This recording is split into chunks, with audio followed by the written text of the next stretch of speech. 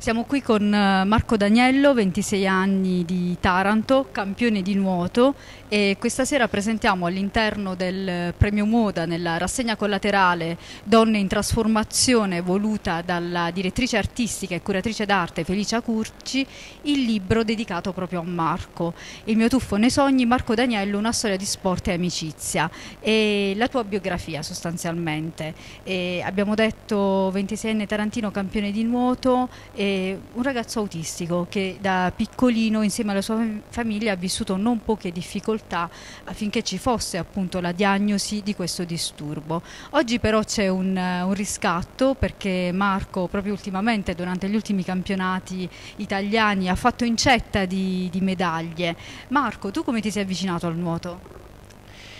Eh, io ho iniziato a fare nuoto a 15 anni eh, in un momento molto brutto perché ero sempre solo, non avevo amici, avevo solo la mia famiglia a mio fianco e avevo desiderato di morire ma l'ho chiesto a mia madre. Poi a un certo punto è scattata una scintilla, una fiction che si chiama Come un delfino fatta dall'Albova che raccontava la storia di questi ragazzi che venivano sempre maltrattati e bullizzati da gente di pessima qualità e comunque il loro allenatore era Albova che sarebbe Alessandro Dominici hanno fatto, hanno fatto credere in loro stessi i ragazzi per essere qualcuno e sono riusciti a partecipare alle gare nazionali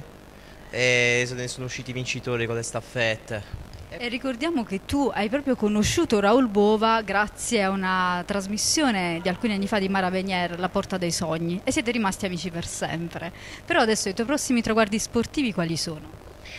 I miei futuri traguardi sportivi ce ne sono molto importanti come a fine settembre ho le gare in mare nel Mediterraneo Per Water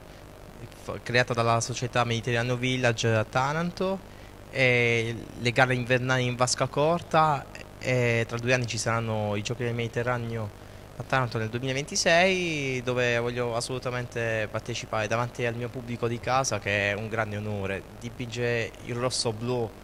a, chi, a chiunque tarantino ha questo desiderio di fare nuoto. E noi ti facciamo un grandissimo in bocca al lupo